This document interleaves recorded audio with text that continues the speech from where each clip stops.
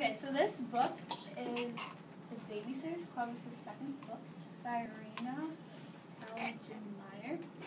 And so it's the same characters. It's just this is when Stacey comes in, and she like this is she lived in New York City, New York City before this, but she had a best friend, and she got diabetes. Like Stacey got diabetes, and her friend got scared of her, so she moved. But it wasn't because of her. She didn't really care that she was moving, and she met the three of them, and they started the Babysitters Club.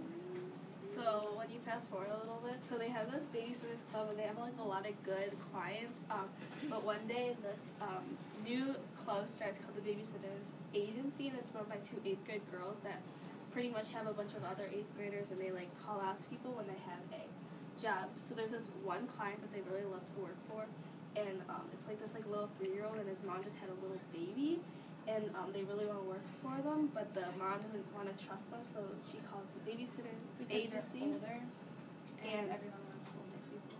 And now all their clients are sort of turning over to the agency. Um, but in this book, you find out like what's wrong with them, so you have to read to see if um, they like take over the club or if like the club can prove them bad. I don't know.